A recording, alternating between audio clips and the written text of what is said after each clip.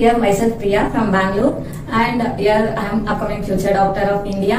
And here I am proudly able to say that I will be a future doctor because of PG Medica Overseas, Vinuta ma'am. Uh, like I have started my journey from NEET long term. I dropped two years uh, to crack NEET exam. And uh, finally I thought it was not possible for me to cross the cutoff and everything. And uh, I thought any other way to reach my goal. And I thought to do any abroad studies with low budget. And I, uh, I, I joined, I came for PG Medica Overseas uh, until coming uh, and meeting Vinuta ma'am, even my parents and I was not having much confidence just to inquire we came and finally even I got a confidence and my parents was agreed to study after talking to ma'am. She was uh, really very good and guided me in everything. I was having little bit money issues and everything, loan issues, everything and Vinuta ma'am was able to help me in every way, everything, documents and everything.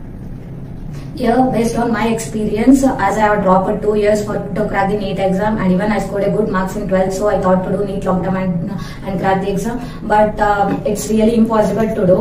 If seriously you wanted to do MBBS and if you wanted to be a doctor, and uh, I, I want to tell you that don't you don't want to waste the years thinking about Indian studies, and even foreign, it's good for studies, and abroad many Indian students are going and they're getting a good education, so you don't need to worry, and there would be uh, you just choose a good uh, guidance and choose a good consultancy to go. And here I recommend PG Medica as my experience in every uh, in every path of my way. They were to help me. And here I am very excited to go to go Russia and to study my upcoming uh, studies. And after going there sure I'll give again the review video.